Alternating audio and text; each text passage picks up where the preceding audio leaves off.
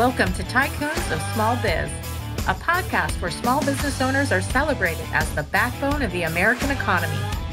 Each week, we introduce you to tycoons who share their stories and advice so that small business owners may learn from their experiences.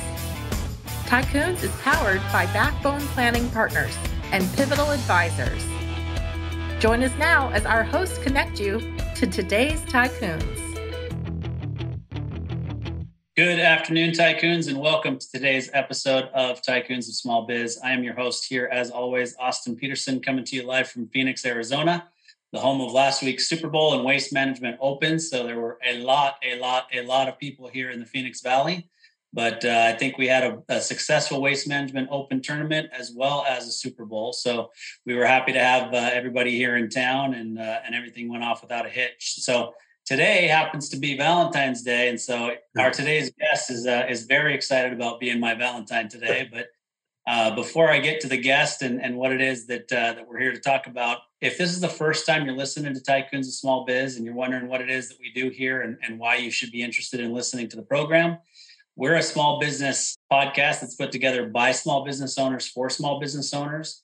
And our sole purpose is to prop up the small business owner, give them an opportunity to share their story, share their successes, share share their failures, uh, as an opportunity to get their business's name out there, as well as for other listeners to be able to listen in and learn from their mistakes, their failures, their successes, whatever it is, and uh, and hopefully um, we're going to inspire other entrepreneurs to get involved because the small business owner community truly is the backbone of the American economy we believe in it 100% and so we decided in may of 2020 to launch this podcast and and give this platform this opportunity for small mm-hmm. businesses to tell their stories so with that being said today we definitely have a tycoon on the podcast with us today. We've got ismael navarro. He's a founder and ceo of countervail countervail is a, a cybersecurity or cyber defense organization a smaller you know boutique organization that's based in bellevue washington. So ismael welcome to the show. Yeah, thank you for having me. I appreciate it. Yeah, like we discussed in in the pre-show, I'm going to call you Izzy just because I'm afraid I will mispronounce Ismael. no problem. Yeah. So, uh, Izzy, before we jump into kind of the business side of things and and you know kind of what it is you guys do at Countervail, let's start with the personal side. Tell us your history. Tell us where you grew up. You know what you did before now. Did you go to college? If you did, what did you study? That sort of thing. So we kind of know who uh, who you are as a person. Of course. Okay. Yeah. So actually grew up in Southern California, a small town. I was born in, in Los Angeles and raised there for about seven years before my father's like, you know, LA is becoming kind of a cesspool. So let's just drive far southeast as possible, SoCal.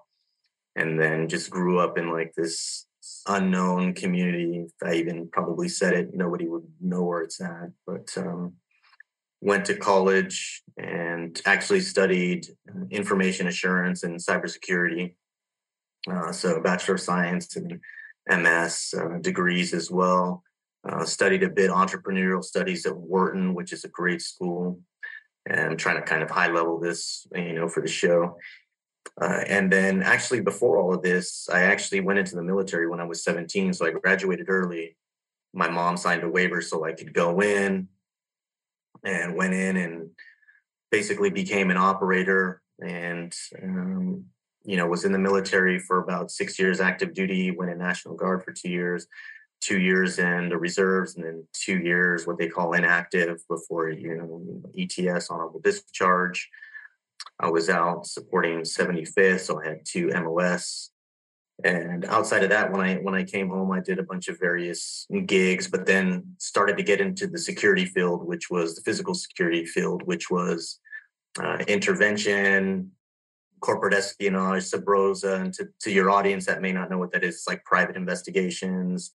Sometimes that meant like working the grammys or sometimes you know executive protection meant working for entertainers or their family members or making sure like when I say intervention, um, monitoring their children at a distance. So if anything happens to them or somebody tries to do something like outside threat, um, you intervene in um, those kind of situations. From an investigative standpoint, did everything from like marriage, domestic, work joint task force with local law enforcement. So then I had this big security background And then my body was just getting beat up from it over the years, you know, just being in the field, being physical, not being able to keep up with the younger guys. You know, you obviously at some point there's like a deterioration point where you just get too old for it. Decided to go into school, got my degree, and then started consulting. I mean, at that time, back in 2009, you know, if you could spell IT, you had like a security consulting gig right away. They're like, hey, help me fix this, help me fix that.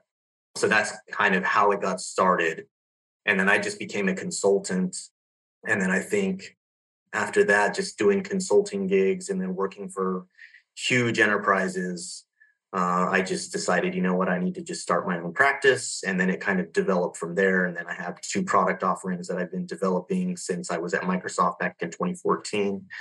And I've authored, you know, different things for Microsoft and other large vendors. When I say authored things, I'm, you know, for your audience is like uh, what we call content or detection, things that help the organization detect and identify threats. Uh, and I know that's a pretty fast, high level, but you know, that's that's where I'm at today. Now is you know trying to advise and help people, you know, optimize and, and help them get to a better place within their organization. Um, so high impact and meaningful things for chief information security officers, you know, and help them better inform their leadership, the C-suite, CEO, uh, CIO, CTO, whoever they're, you know, they fall under for for their leadership, anything from there, and just giving guidance and, and helping people in their organizations just do the right thing, making sure that they're well informed on on what they're on their decision making. Yeah, I mean, I, I, find your background intriguing because I think it's probably pretty rare to have somebody who has expertise, background, and experience in both physical security and cybersecurity, right? Like I'm sure everybody listening is thinking, well, cybersecurity is all the the nerds, the glass the glass wearing, you know, 140 pound, five foot six guy versus you know the physical security the guy who's the bodyguard the guy who's protecting somebody's children the guy who was an operator in the military is a completely different and and the fact that you have both is, is kind of intriguing and interesting to me. I actually got made fun of like i didn't realize there's like this reverse nerd psychology when you go to college for the technical world. You get called like a bro tech or they they stereotype you as like what are you doing here? You know like this this isn't your this isn't your lane. So it's kind of funny because i did go to school with that kind of reverse bullyism or whatever you want to call it like the nerds gang up on you, like, you don't know what this is, ha ha. And they like point at you. And it's so so it was funny. It's it's kind of a funny thing, but you know, got through and I, I made a lot of good friends. And today I still have those friends, some of them in a DOD, DHS. And I have some friends that are also private sector as well, all over, both in sales and a lot of the cyber defense umbrellas. So, but yeah, physical security. I mean, my first I would say black market buyer. What what then was like dark web, or what really people didn't know about it was they were stealing shipments. Um, and I didn't mean to derail, but just to give you an example, they were stealing shipments of colognes and sunglasses from these warehouses, but they would sell them on the dark web. So at the time when I was doing physical security, that's how I really learned about cyber defense was like way back in I want to say 2004, 2006 I ran a joint task force and they have a guy like me, you know, who's tatted up, who just looks like a normal criminal, I guess. I go in there and I do the black market buy. And then boom, you know, cops come in, raid the warehouse. And then I come out and I'm, you know, they do the handcuff, you know, dog and pony show. And, you know, the rest is history. But how they they find out about that is was all through, you know, cybersecurity. Like making the buy online in the dark web and then going to the physical warehouse and then you know it's like an end to end um, you know the the way it's staged right? So the whole process of law enforcement them getting their staging then setting up hiring outside consulting to come in and do but that that was kind of typical you know drug buys things that they couldn't use local law enforcement for you know um, of course they have their own undercover um, officers as well but um, the need is so high but again, same thing with cybersecurity. The need is so high for defenders as operators that you know it was just a smart decision for me to lateral over into the digital world. So it's just like the next evolving. Yeah, yeah, for sure. I've been exposed to cybersecurity a decent amount in in my lifetime, just because what I do in my day job is people's personal information is being used and and as a part of of what I do, right? And so we have to protect that, and you know, do put everything in place that we can to to protect that. And so, you know, maybe I've been exposed more than the average citizen. Maybe I, I don't, I couldn't say that for sure, but you know, I think this this terminology of the dark web gets thrown mm-hmm. around, but I'm not sure that most people understand what the dark web is.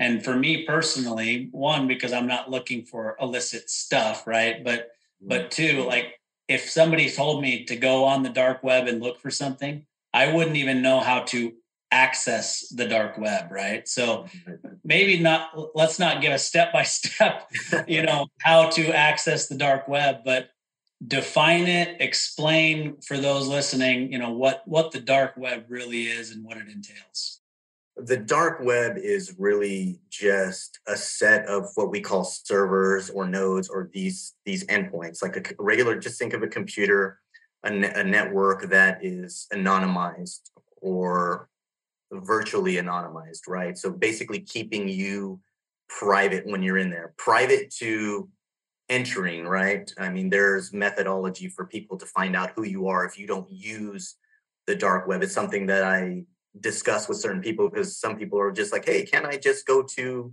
XYZ ABC89.onion, which is an onion router? And for those of your, you know, your listeners who don't understand that, it's like dot onion like dot com is like a route to get you to a destination, whether that's it could be something as simple as like an anonymized chat or something as horrible as like public execution or WikiLeaks files or finding out bad things about the government or whatever it is. But effectively, there's a, a longer process that you should use if you're going to, if you're curious about logging into the dark web for, for non-nefarious reasons, right? If you just want to understand what that is. Typically, you don't want to use your own laptop and go directly through your own router. I mean, you open yourself up to, you know, all kinds of evil things if you do that, of course, because primarily the what we call the dark web, again, it's it's made up of a lot of nefarious activity, right? Because it's anonymized. It's it's it's hidden. Even the websites, like I just said, it's like abcdxyz989 dot onion like you don't, it doesn't say like I'm going to www www.watchthisexecution.com. I mean, there might be something inside there that that will link you to a room that's like that. But get to the route, it's like an encrypted, what we call like a, a hash looking type uh, domain name, if you will, with dot onion at the end of it. For for anybody who's interested, I mean, there's a great film called Cicada 3301, which if you want to like talk about the glamorizing it or seeing what it's kind of all about, it's a great film to watch because it's actually uh, predicated upon actual things that have happened, uh, true events. Um, Cicada 3301 is like this real unknown, anonymized organization that put these encrypted uh, cryptographic tasks out there for people to complete. But that would give your audience like more of a visual, you know, experience of what that looks like. And it, it kind of encompasses all the different things that can be done on there from translating your Bitcoin or trying to wash your Bitcoin or trying to look at something as just having a, a, a, freedom chat or something that, you know, some people call these things freedom chats where you actually feel comfortable in a group speaking about things that you have in common with other people that might seem scary to others. Like, like NRA or gun rights or abortion things or you know whatever it may be. I mean, you can virtually hit anything in in, in what we call the dark web. So, I mean, the, the last example you gave, I would say, is is a way to legitimately use the dark web, right? Like you want to be able to interact with people that maybe share your views without everybody knowing that you have those same views, I guess. So I, I would term that as, you know, legitimate, right? But nefarious is like anything you can think of oh, illicit oh, drugs any, execution you know all that kind of stuff that any anything you can think of and, and that's what i kind of warn people about it's like and, and i won't get into like the programs like tails and tors and using a usb and logging in from virtualized environments and using multiple vpn hops and all of this crazy stuff that like to best secure yourself if you're going to go into the dark web right?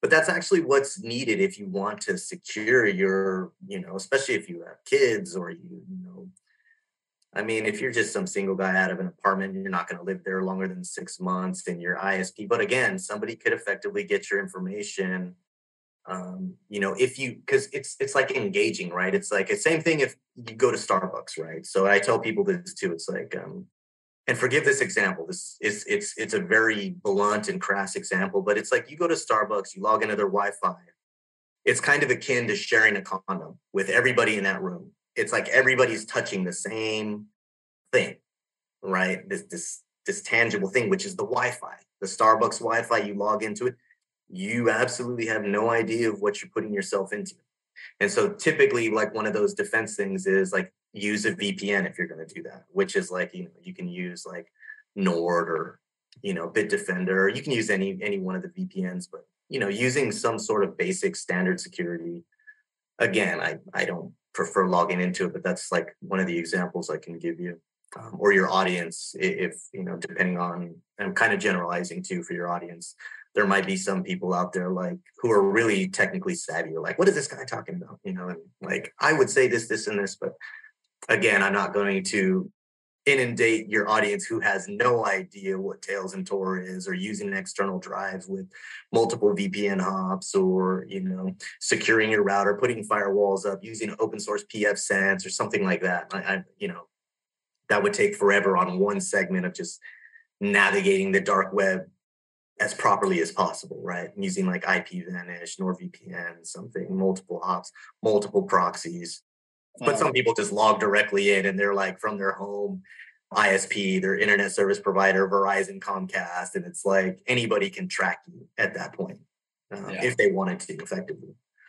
Well, I mean, speaking as a guy who I would consider semi tech savvy, about 70% of the terms that you just used, you may have been, you may as well have been speaking a foreign language. and seeing that, I have to apologize for that because I just, you know, that's what I'm saying. And without trying to inundate the audience, right? So there's a tool out there and what we call OST. It's an open source tool, meaning anybody can have access to it. And a buddy of mine wrote this tool actually, it's called Spiderfoot. And you can tell whether or not your email address has been used for the dark web, it'll tell you somebody has used your email address for the dark web. Hmm. And it goes out there and collects all this information. But effectively, you can log into this tool and use it and find out if your email has been compromised to search the dark web. And that's what some attackers will do. They will feed off of your information and your data points, what I call your pivot points, your email, your Facebook, your Instagram, what have you and these are all these are all pivot points for attackers. They they you know they're just hiding places, um, harboring grounds. All right, so the average listener for our for our show is similar to the average guest that we have on the show. They're they're operating an organization that does typically between three and ten million in revenue. Some as high as fifty, some as high as you know hundred. But the the typical guest and listener for our show is that three to 10 million in revenue. So for somebody who's listening and, and knows they're running an organization that needs to be protected, what's critical for them to know and to have in place in terms of cybersecurity for their for their business? It's going to sound very simple, but it's just the correct answer is that you have to understand what is your most exposed asset or your most valuable asset and you have to always start there. So let's say if you have a company that's let's say it's a cpa or a legal firm that runs like you know 20 paralegals or whatever right? Whatever the example is for this organization. But let's say they have a server that houses maybe credit card information or personal files about their clients you know privileged what we call acp or privileged information they want that to not get out there in the open and they want to secure that data. Uh, there was a breach in Los Angeles. I won't go into that, but you know these things can cost millions, 30, 100 million dollars. You know if you lose that data. So they, the short answer is you want to you want to identify what your most valuable asset is you have in your organization that is digital, and start securing that, and then you work outwards. From a very so, simplistic point of view, that's the best way to describe it. There's a multitude of ways to do that, but that's what you need to do is one, identify, and then two, start securing. first I'll make a comment and then I'll ask you to expound upon that. So the, the first comment that I would make is there, there are lots of businesses that don't have non-public information about their clients in, in any file, right? And so you would think that that means, well, I'm good, right? I don't, I don't need to worry about cybersecurity, but you still have email for the, for the corporation. And I would argue that the most important asset that most businesses have are the people that work for them. And you do have their non public information stored somewhere from an HR standpoint, a payroll standpoint, a retirement plan, health benefits, whatever the case may be. So when you say, you know, find out what that is and then secure it, what do you mean by secure it and, and what steps, you know, should they be taking? So this also depends right on their budget. Unfortunately, some people don't see security, as you mentioned, as something that's like a, necess- a necessity, right?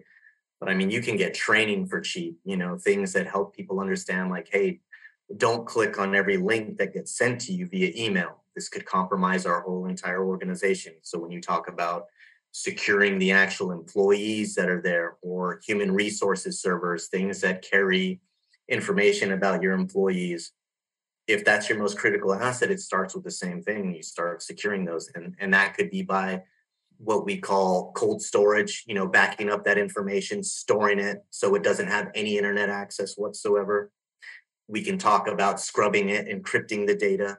There's there's many things that people can do for you know for fairly fairly cheap, or I should say inexpensive, to secure, especially for an organization that's in between three and ten million maybe finding out if they have like a cyber defense insurance provider that's near them to say, hey, get someone to come in, evaluate my organization, and then see if I can get fitted for cybersecurity insurance and then get that measured up to a certain amount. Those things are relatively inexpensive. You know, you might pay a couple thousand dollars a year depending on your your premium and you know whatever your let's just say your exposure cost is for that. So it's like 1 million, 2 million, 3 million in cybersecurity insurance. You know, the premiums are very low.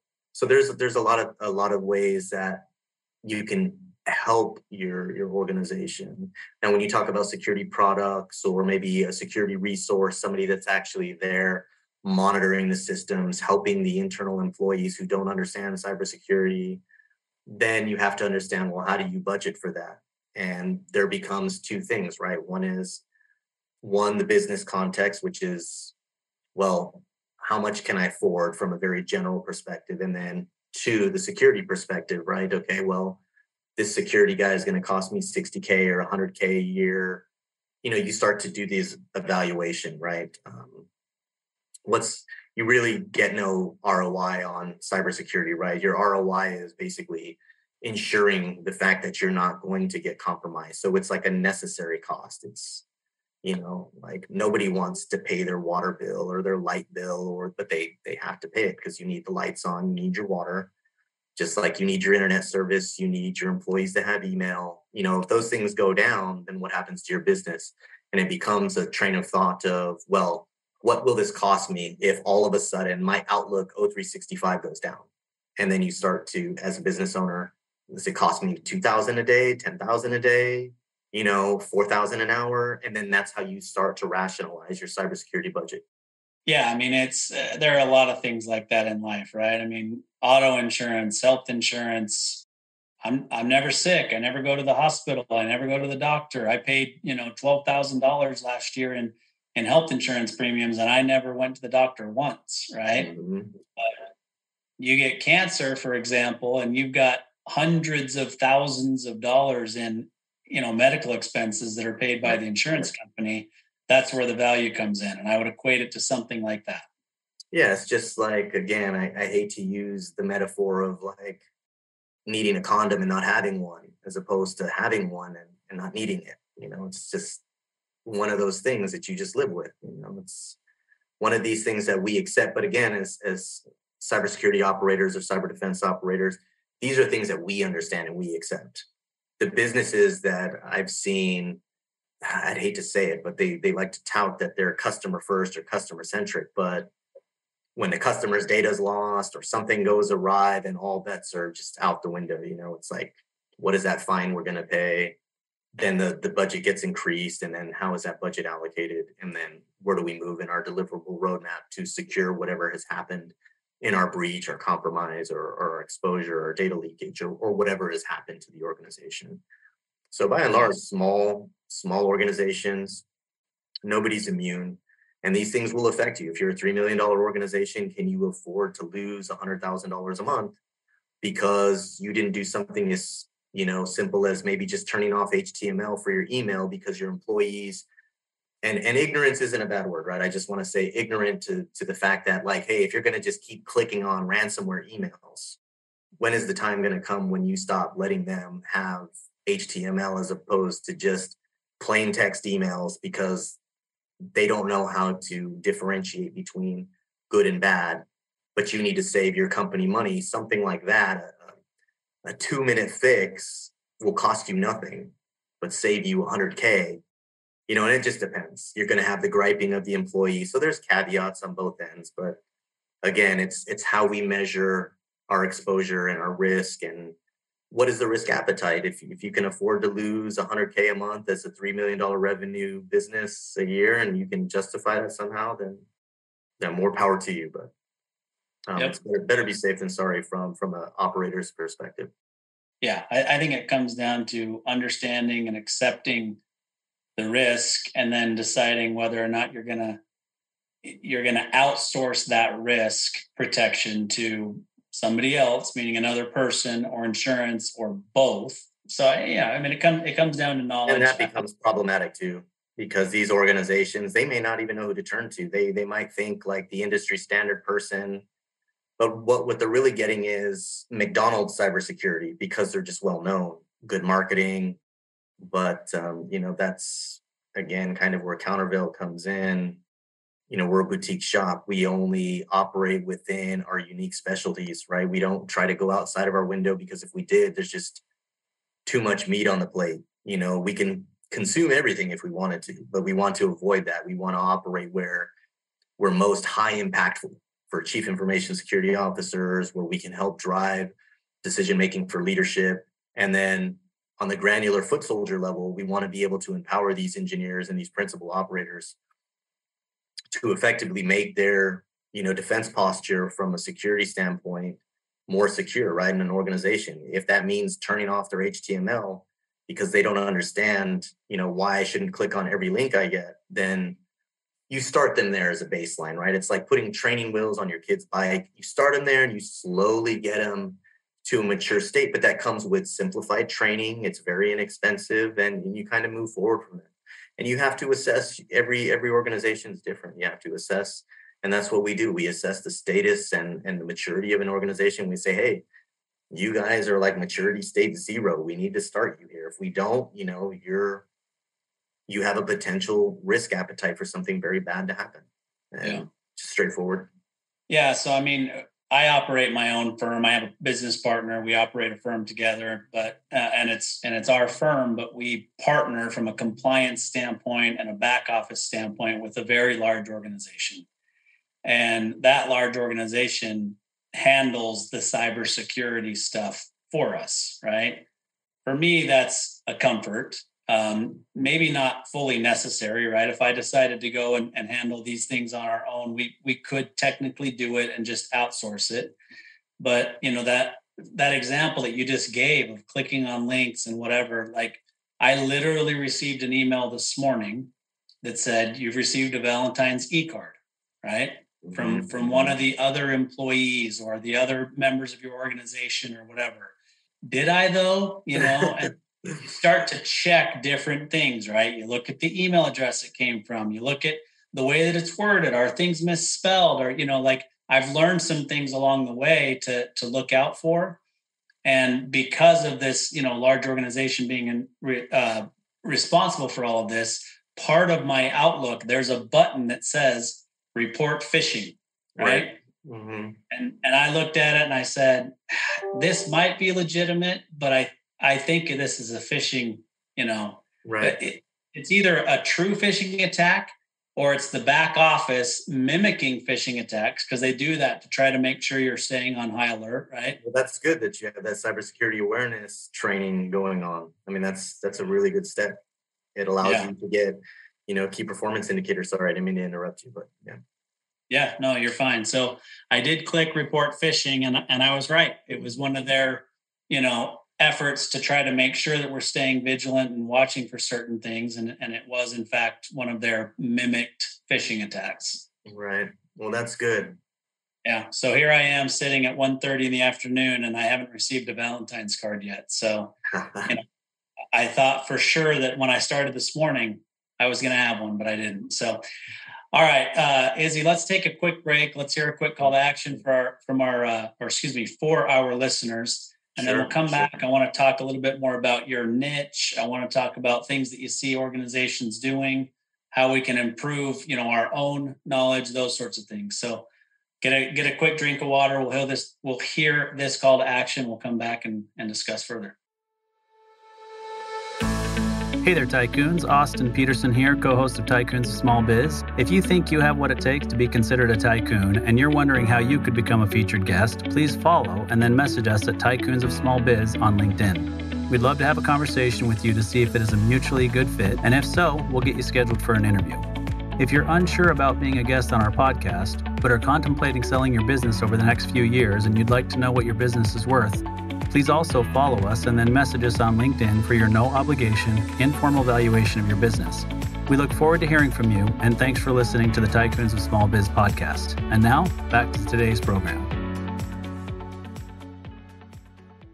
All right, Tycoons, welcome back. Austin Peterson, your host here with Tycoons of Small Biz. We've got Izzy Navarro from Counterveil here with us. We're talking about all things cybersecurity and obviously his background in, in physical security, which is interesting having, you know, both sides there and, and understanding really what these cybersecurity attacks can lead to, et cetera. So Izzy, you know, before the break, you kind of mentioned Counterveil's niche, right? Like the areas that you work in, because there's the the household names that everybody knows that can do certain cybersecurity things. And and a lot of times what you end up getting, I think you called it the McDonald's version of, of cybersecurity because it's, you know, it's well known, but it may not be tailored to your needs as a business owner or as an individual. So talk to us real quick about what makes Counterveil unique, what your guys' niche is, and, and the way that you guys approach things with your clients. Sure. So at a very high level, as I as I mentioned earlier, everything that's very high impactful, right? So one, leadership typically has a deliverable to a chief information security officer that that gets disseminated. It could be a project from endpoint detection. It could be a project on implementing a, a, solution like Splunk, which is a log management solution. It could be a range of different things. It could be vulnerability threat management. It could be project management on an end-to-end deliverable that's let's say two to three million dollars. Where we come in is we specialize in understanding what the project need is, the deliverable time frame, and, and really understanding what the pain points are of the chief information security officer. So we come in and as I stated, we we assess what's actually happening with a project or even a simple deliverable. It could be something as simple as we need content. What that means is we need someone to write detections for us. So it just depends on what that customer is looking for. I think what makes us unique is that everybody that works for Counterveil is pre-vetted. We all have, you know, many years of experience in different tool vertical spaces. So vulnerability threat management. Some people have been pen testers. Some people have operated with, let's say, firewalls, EDR, and maybe web application firewalls. But everybody has a very in-depth knowledge from a cyber defense perspective on solutions, architecture, operations, uh, how things should be implemented, what a best practice is. And the reason we know this is because we have well documented processes, not only from the vendor space, but also categorized and indexed throughout all of the different clients that we've engaged. So, from let's say one healthcare provider to another, we can kind of create like a Venn diagram and say, well, what is this healthcare provider doing? That is more mature than this one over here. And then we create a process, and that process becomes a staple. So then it doesn't matter what organization that we land in, whether it's a bank, a healthcare provider, an insurance provider, a retail like Nordstrom or, or somebody like this, we, we get an understanding of what that vertical space looks like. And then we only focus on our one deliverable and we make sure that that outcome is always optimized and result driven. So um, if there's deliverable dates, if the PMO or the project management office or the chief information security officer is not getting relevant, uh, actionable intelligence, or they're not getting informed intelligence to make better decisions, or their metrics are disrupted and they're providing wrong metrics to leadership, we come in and actually evaluate what the problem is. Where's the gap? Where's the delta between the people they're hiring, maybe in some of the big four? I hate to name any of the big four companies. And I'm not saying that they're bad. I'm just saying that it's kind of like that McDonald's of, you know, you hire one of these big four, they're going to throw 20 resources at it and they're just they're just there to really manage a product a product or project and not really have the depth and breadth that we have because we focused in it. Everything that we've done is cyber defense oriented. Where some of the big four, they work on many different things like auditing, or they work on administrative or technical writing. We don't try to run the gambit of everything. We focus on unique problems. And that could be like, why isn't our data stream working? And then we come in and say, well, this is what we've observed. And then we kind of solution for it. So we pick apart the different problems and we solution for those as opposed to trying to like re-architect or bring in 20 resources uh, we work best when our operators are fit uniquely for whatever that problem is and typically provided on, on a high impact project usually disseminated down to the ciso from like leadership like ceo or uh, cio is saying hey we need to implement edr hey we need you know, to increase our firewall zoning. But then nobody knows how to do that. They'll hire big four and then everybody's kind of chasing their tails.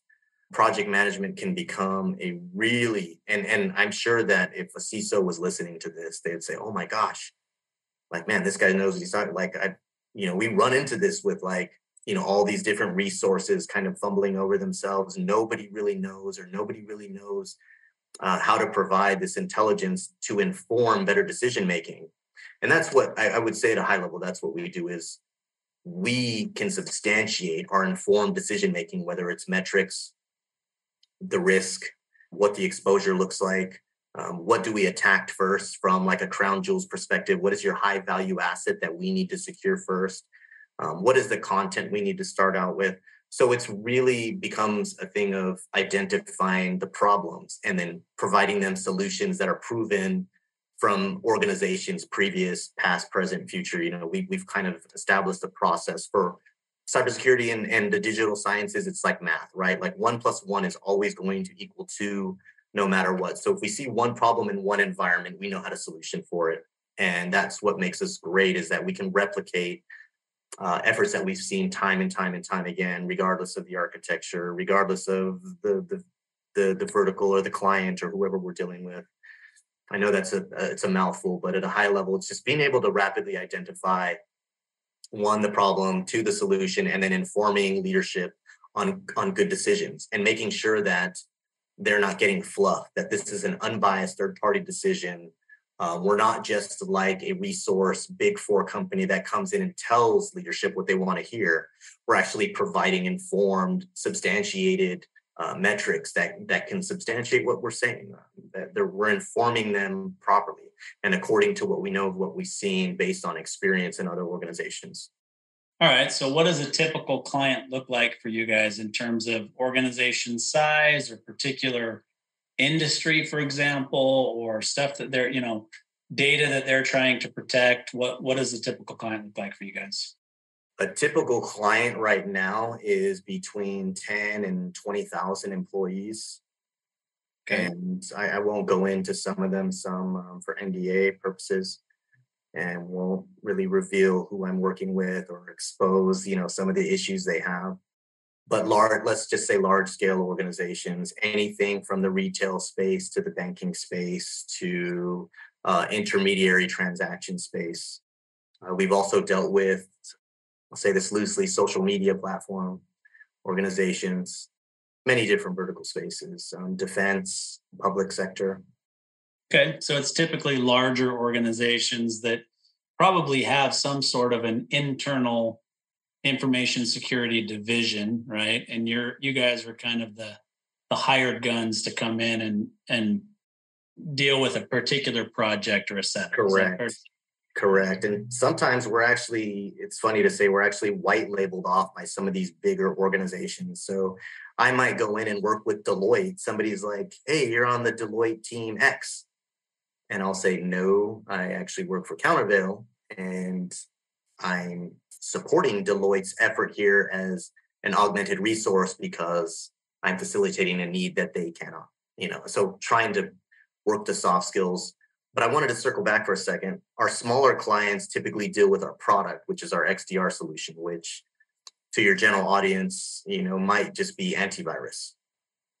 So our, our you know, our smaller customer, they want to purchase something that they know is going to work as opposed to buying something online and and not having any support for it really um, so i wanted to just circle back on the services side of the catalog it's large scale organizations from the product side it's it's smaller organizations um, anywhere from 200 to 2000 seat organizations. So you have kind of an off the shelf product that people can use for antivirus and typical normal security issues for smaller organizations or individuals? Correct and then there's like a service offering a very unique uh, service level agreement that we can customize for whoever the organization is on, on the smaller side of these organizations. Usually the, the larger organizations, their scope of work is, is very specific. Um, so they're, they're high impact deliverables and um, we typically don't go outside of what that scope of work is or the nature and scope of work. We're getting close to the end here, but um, couple of things that I that I want to to kind of hit on with you and, and and I guess the first thing that I would say is you know what have you noticed organizations doing right and wrong today in terms of their security posture because this is I would say that over the last decade and you can obviously speak more to this this sort of thing has just exploded right I mean I feel like I get spam emails and spam texts every single day somebody trying to access something of mine. So, right. you know, what are what are organizations doing right, and what are organizations doing wrong? So, first thing at a very high level, organizations that are doing things right are one, they're listening, but they have people that understand the informed decision making, and they understand that things can be very transparent, meaning they know when the BS indicator goes off and they know how to sniff through that. Those are the organizations that are doing well. That when they get informed decisions, they can sift through whether or not the validity or or if the information is substantiated and and they reciprocate right? So your your leadership teams that work well with your uh, what i want to call your granular teams your engineers your analysts your principals your foot soldiers when there's good communication between the two that's when organizations are doing well. When you have miscommunication between leadership and your engineering, your operational teams, that's when things just go awry, or when organizations are just trying to slap band aid solutions in to fix a problem that never works. Uh, and I, I say never, people say, oh, you should never say never. No, I, I'm telling you, it never works when you're just trying to slap something and I'm going to buy AV, I'm going to buy a firewall. And you can do all of that. It's great. That's great that you have that idea, but it's it's at the same time it's a band-aid solution. If you don't know how to use it, you don't know how to stand it up. Those organizations that just are leaning on poor decision making, they don't want to listen. Leadership makes their own decisions without any informed decision making. Those are the ones who have, you know, the problems. The the companies that I work with that I see that actually want to improve their maturity uh, from a security defense posture they're listening. They're like, where do we go next? And we have a discussion about that. And one of the things I tell my clients is, look, I can make suggestions, but you guys have to make decisions. You know, and, and that's one thing that I live on is I can suggest as best as I can based on the information that's provided to me and the information that I have according to what I've done, with my research in, in the organization. But you have to make the decision based on my informed information. And you know, we call these PIRs or priority intelligence requirements, and, and those usually get fed back. So organizations doing well, they're listening. Organizations doing poorly, they don't listen and they make individualized decisions. And it's typically ego driven. Yeah, I mean, I think it comes down to communication and knowledge in so many different areas of everything, not just cybersecurity, of course, right? Yes, it does. Listening is a big is a big key. All right. So for organizations that don't really have a security budget, what do you suggest at a minimum that they do, right? An organization that can't afford $60,000 a year for a cybersecurity employee, right. but they have a need for some cybersecurity. Where where do you suggest they start? This this is a tough one, right? So there's many open source platforms out there. But again, the caveat is who is going to actually optimize them, who's going to run them. So if they, you know, if we're talking about an example, trying to work my way around this, right? If you don't have a resource to help with any of this, it's best to start out with security training and find out what employees that can self-manage on their own. Like I said, turning HTML off on your O365, implementing things like MFA, using, and I, I've mentioned this before in some of my talks, like using hard tokens, which is a key, right? Like if this key isn't plugged in, an attacker cannot bypass my email, right? So there's simple things, very, very inexpensive things that you can do to help secure your organization a bit better. When we talk about email security, which is a big attack vector, right? Everybody's coming in because it's the easiest way for attackers to get you is through email it's like 70% right now it's it's a bypass method um, that's what attackers do they phish you all day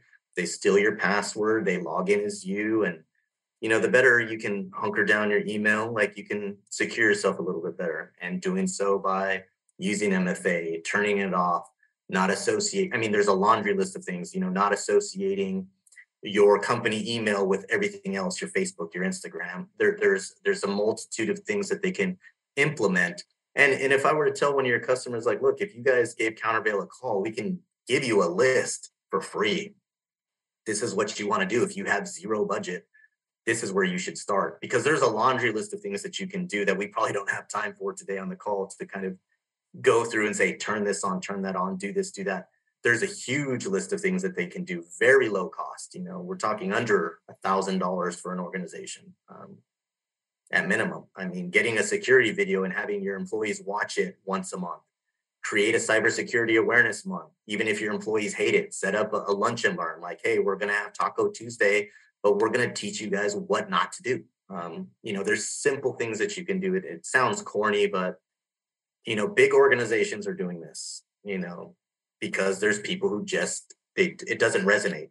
I'm going to keep clicking this link until I kill my company. You know, it's um, it's just one of those things. You know, I, I don't understand it, but it, it's I, we kind of laugh at it. It's kind of funny. It's kind of not, but uh, this is something that that occurs frequently. You know, this is what attackers love. They love that email vector. They can get in there so it's the most easiest target. All right. Well, I'll tell you what. If if if the listeners are anything like me, this is it's, it's kind of a refresher, right? Like we all know this is a, a major threat. It's something we need to do better. We need to have whatever randomized passwords for our for our bank you know access or you know all these kinds of things yeah that, it shouldn't be like unicorn 101 or kitty 2020 you know do away with that stuff. Your password should at minimum be like 15 characters mix match upper lowercase you know you should have mfa or a token. You know these are some practices. You should never use the same password on your Instagram, your Facebook, your LinkedIn. They should all be different. Uh, you should use an external password safe. So you store all your passwords, let's say on a key drive that you plug in. As we saw in the last LastPass breach, everybody's passwords got compromised. It's an in the browser password safe. That that went to show the community, well, look, you can't even trust a password safe that's in your browser. LastPass got compromised, all those passwords gone think of all the millions of people who had to change their passwords. But again, yeah, there's there's a huge laundry list of things that you can do at zero cost to secure your organization as best you can, right? When we're talking about something with no budget, there's plenty of things. Yeah. So that that password keeper that you just showed, it's essentially a thumb drive that you plug in. Correct. And your passwords for everything are in there. And unless that's plugged in, you can't access the different places you're trying to go, correct? Correct. And let's say there's a master password to get into your actual thumb drive. So before you can even log into your thumb drive, you have to have a master password that logs in to get you to all of your passwords. And then it becomes a click and paste. You unplug it when you don't need it, you turn it off and remove it from your your laptop. Um, you know, but at minimum, you should have some sort of antivirus, a good antivirus. You know, if I was a company again, I, I could sit here and say, yes, get Counterveil, you know, but no, I mean, if you're just a company who needs some bare minimum stuff, Bitdefender, and again, I'm, this isn't a plug or anything, Bitdefender doesn't pay me to do that, but Bitdefender is a, is a good solution for AV. You know, if you're just minimally trying, I mean, you think you can get Bitdefender for around $60 a year, maybe five licenses. So, you know, depending on how many employees you have, 60 times, you know, plus five, and then round out your employees and they all get a license. They offer VPN, they offer scanning. I mean, it's kind of like a no-brainer tool if you're just a company who just needs some bare minimum. But again, that's like super low budget, no nonsense stuff. I personally have some of my guys running Bitdefender separately just as just to have something added. But it's a it's a proven solution. I'm I'm not trying to plug it. It's just something that you know I've used in the past and given the question, you know, what what should I tell my pe- people to use? You know, if they don't have a budget, yeah, just throw Bitdefender on there. Use your password keys. Get a thumb drive from Google. It's called Google Titan. You know, it's it costs fifty dollars. That might be a bit more pricey. Actually, it might be thirty-five dollars for the Titan key, but it secures your Gmail. Unless that thing's plugged in, no one can use your email. So it's it's it's as secure as you're gonna get. You know, unless an attacker is forcing you to put your finger and touch the the key, then you know they're not getting in. But all right, well, I'll tell you, I've, I've learned some things along the way. Uh, I appreciate your background. I, I want to make sure that I that I mention how much we appreciate your service. You know, being a veteran in our country, that means a lot to us at the program here. So thank you for that. I appreciate and, I volunteered and family tradition. Well, it, it's appreciated. So thank you very much for that. And, and I've enjoyed the conversation. So I appreciate you being here. But before we let you go, why don't you tell the, the listeners how to get in touch with Counterveil, how to get in touch with you personally, whatever you'd like to do there. Yeah, so for anybody who's curious at all, I mean, you can just go to thecounterveil.com, the C O U N T E R V E I L, the counterveil.com. You can look us up, it'll populate right away in any, you know, search browser. Um, our phone number uh, is, uh, I can't even think of my own phone number, 844 783 6660. Uh, and, um, you know, you can communicate with me directly there if, if I'm available. And, you know, I have no problem answering any questions, comments, concerns, you know, you may have if you're interested.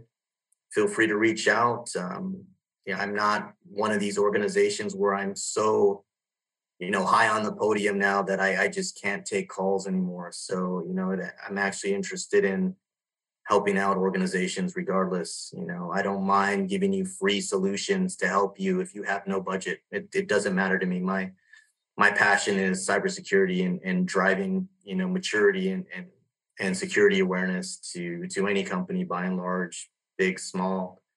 So um, again, thecounterveil.com 844-783-6660. And uh, yeah, leave a message for me. Call me directly. I think my extension is two. Well, thanks so much again for being here. I really appreciated the conversation. Hopefully, you were uh, as happy with your Valentine as I am with mine, and uh, really appreciate the conversation. Thank you for having me, sir. Appreciate you. You bet. Thanks you. Thank you, Izzy. Thanks. You've been listening to Tycoons of Small Biz, a podcast for small business owners by small business owners. Join us every Tuesday at 1 p.m. Arizona time for an introduction to another great tycoon. And be sure to follow us on our social media channels for links to all of our episodes and great content.